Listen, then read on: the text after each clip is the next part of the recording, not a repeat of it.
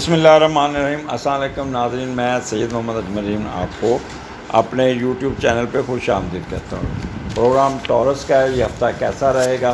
और ये हफ़्ता चार जुलाई से दस जुलाई के दौरान, fourth July to tenth July के दरमियान क्या होने जा रहा है। आगे बढ़ने से पहले टोरियन मेरे चैनल को सब्सक्राइब ज़रूर कीजिएगा और आइकॉन बेल भी दबा दीजिएगा। ये महीने का तो मैंने प्रोग्राम कर दिया हुआ है, लेकिन अब उसकी जो डिटेल है, वो अब चलेगी। और मेजर चेंजेस छः को आएँगी जब राहु आपके बारहवें घर मार्स आपके बारहवें घर से निकल के राहु के नीचे आपके असेंडेंट में आ जाएगा।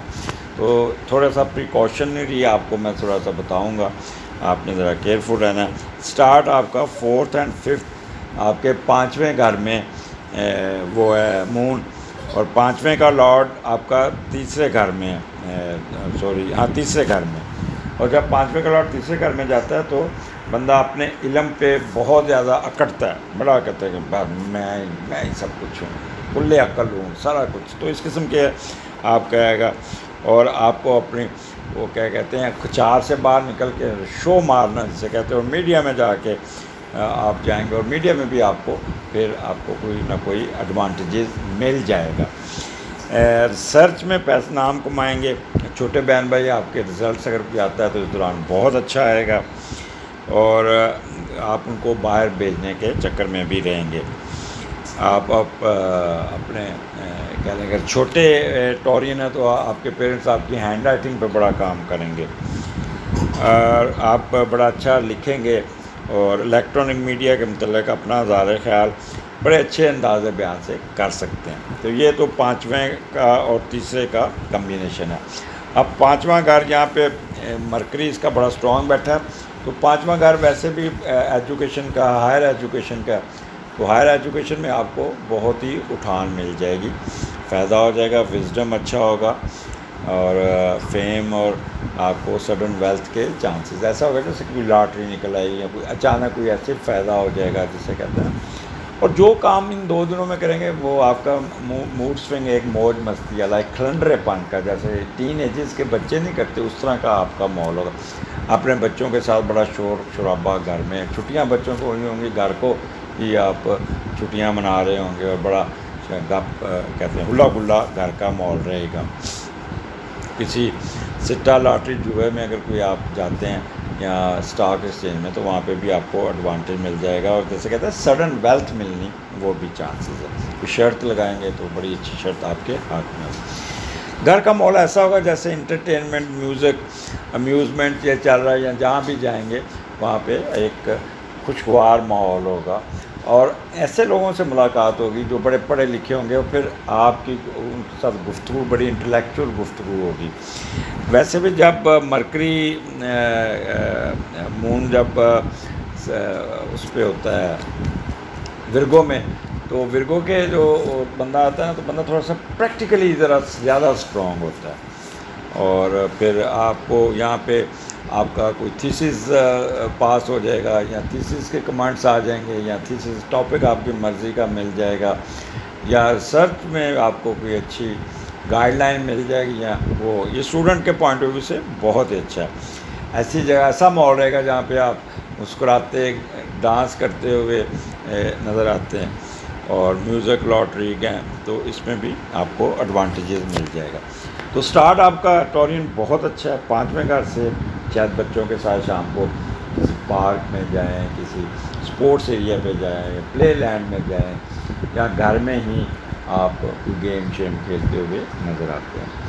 और कई जो होंगे जो मौज मस्ती ज़्यादा होंगे पीने वो कोई ना कोई फ्लर्टनेस में कोई डेट भी मार सकते हैं। आगे चलते हैं सिक्स एंड सेवन्थ और छठे घर में लिब, आ, लिब्रा है और इसका जो लॉर्ड दूसरे घर में बैठा हुआ है तो जब छठे का लॉर्ड दूसरे घर में जाता है तो पहले हम देखते हैं कि सर्विस मैटर में क्या होगा, फिर हम देखते हैं छठा घर आपका। अब तो आपको सारा कुछ याद हो जाना चाहिए, सिर्फ़ कम्बिनेशन आपको, वो नहीं आप कर सकते, नहीं तो आपको तो छः घर, बारह घरों की करेक्टर्स आप पता लग गया और आप अपनी हिम्मत, मेहनत और खसूस तौर पर सर्विसेज़ दे के लोगों की खिदमत करके कुछ ना कुछ कमाने में कामयाब होंगे, जिससे आप माशी तौर पर मुस्तक हो जाएँगे।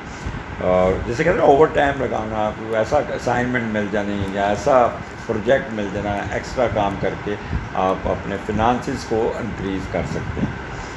और काफ़ी इसमें हिम्मत और मेहनत से पैसे कमाते हुए नज़र आते हैं। फैमिली के साथ ससुराल की माशी मदद भी आप करेंगे, वहाँ पे फैमिली के साथ साथ दूसरे लोगों को भी पा देखेंगे। ऐसा लगेगा जैसे आप अपने पैसे लुटाते फिरते हैं। छठा कार है इसलिए थोड़ा सा अपने फिनंसिस को कंट्रोल कीजिएगा।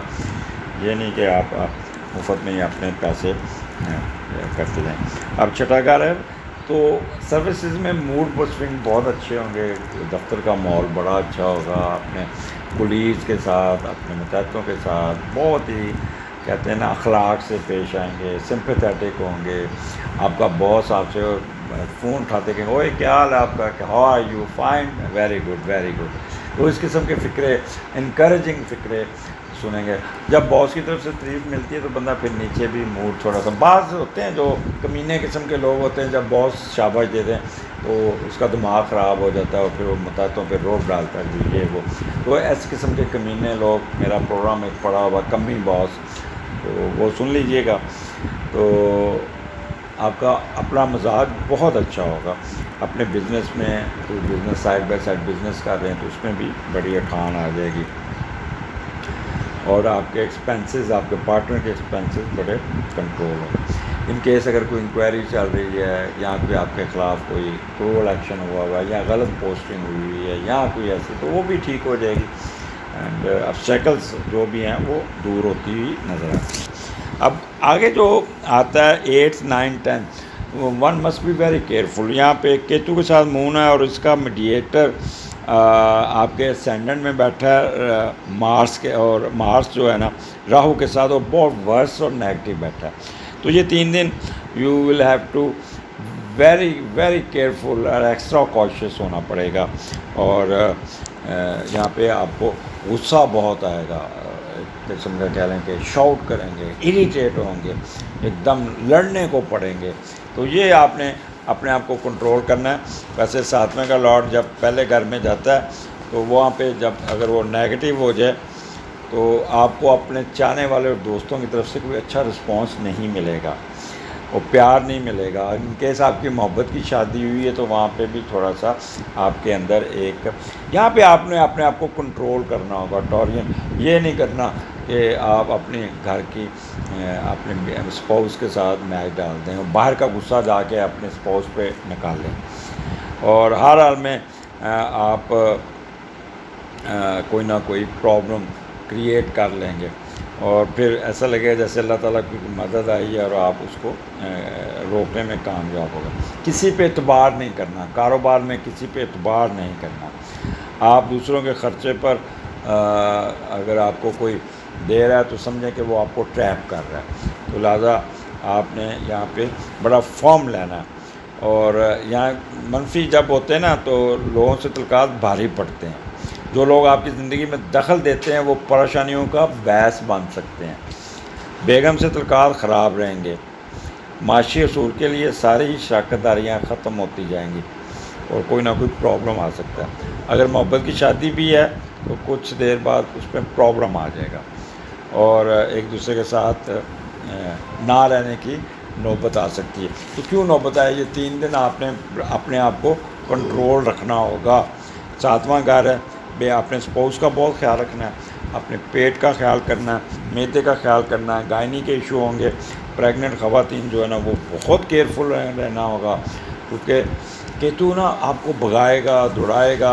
अच्छा जब आप बंदा थोड़ा सा थका आ रहा हो स्ट्रेस में आए तो बंदे के ना जिसम दुखना शुरू हो जाता है गुस्सा आता है और फिर वो आ, क्या कहते हैं उसकी ना साशी जहन बन जाता है मनफी ख्याल आता है फिर वो धोखाधड़ी और चलाकी में ज़्यादा घुसता है।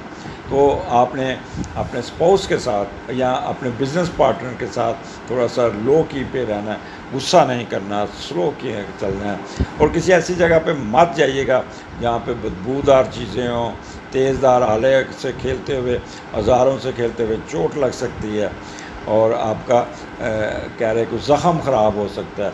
इन केस अगर सर्जरी हुई है, टांके लगे हुए हैं तो उसका बहुत ख्याल कीजिएगा और नर्वस सिस्टम जो है ना, उस पर कंट्रोल कीजिएगा।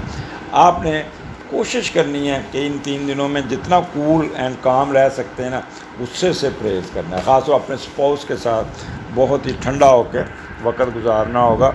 और ये नहीं है कि लड़ाई झगड़े में अपना घर ख़राब करें। वो लोग जिनकी ऑलरेडी कोई डिफरेंसेस चल रहे हैं अपने स्पाउस के साथ they should be very careful ये तीन दिन किसी किस्म की मुँह मारी नहीं करनी कोई पे, पैगाम नहीं भेजना कोई लड़ाई को तोड़ नहीं करना कोई मीडिएटर कैम नहीं करना कोई तीसरा बंदा इस्तेमाल नहीं करना वो आपकी इस कलात को ख़राब कर देगा। तो अगर आप फीमेल हैं तो वक्ती तौर पे आप फिज़िकली अपने स्पाउस से इस महीने दूर हो सकते हैं।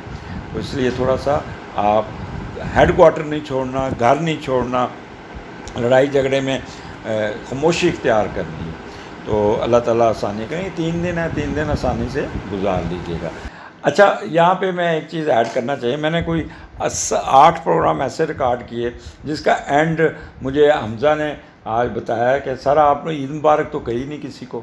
आपने ईद का ज़िक्र ही नहीं किया। तो मैं थोड़ा, क्योंकि मसरूफ़ था, ज़्यादा ओवर प्रोग्राम थे मेरे, काफ़ी रिकॉर्डिंग थी। तो मेरे दिमाग से निकला हुआ था और हमदा भी बिज़ी था। तो हमदा ने आज मुझे याद दिलाया कि सर प्रोग्राम के आखिर में ईद मुबारक तो ज़रूर करें। तो मैं जिन व्यूअर्स को आखिरी चार प्रोग्राम में मैंने किया और बाकी जो आठ प्रोग्राम थे, उनमें मैं भूल गया था।